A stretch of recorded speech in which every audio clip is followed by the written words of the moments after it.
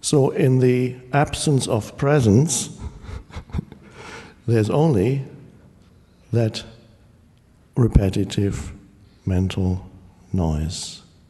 And part of that mental noise is the story of me. It's the problematic story that is hoping at some point in the future it will no longer be problematic. Not realizing that what it calls future has no actual existence except as another thought.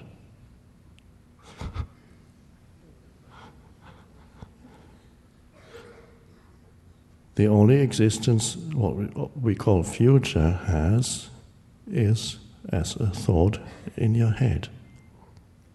Beyond that, there's no such thing as future.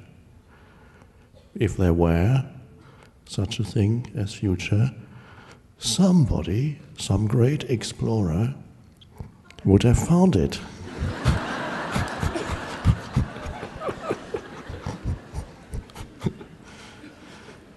And we would have a monument. he discovered the future. so far, it hasn't happened, and it's not likely to happen because it is a conceptual thing only. When the future comes, which is a thought, it can only appear in the space of your aware presence, the light of consciousness. It can only appear as the now, whatever form it takes in the space of now that you are. Something appears. That's the, now, the form of now. So, no such thing as future. Future is a thought. And this also applies to the past. Because apart from the thoughts in your head that say, This happened to me, I did this, he did this to me, she did that to me, I did that to him and them, and then they did that, and then. Uh, uh,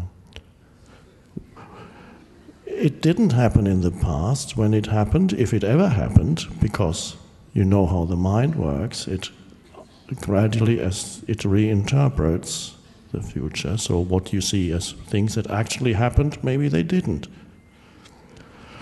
Or maybe they did, but when they happened, it was the now, the only place where things can happen. And in order to have the idea that there is such a thing as future, you have to think about that now. so it's only your in the light of now that the appearance of future arises. But again, of course, there is no past. Even if time travel were a possibility, you could only arrive ever in the now.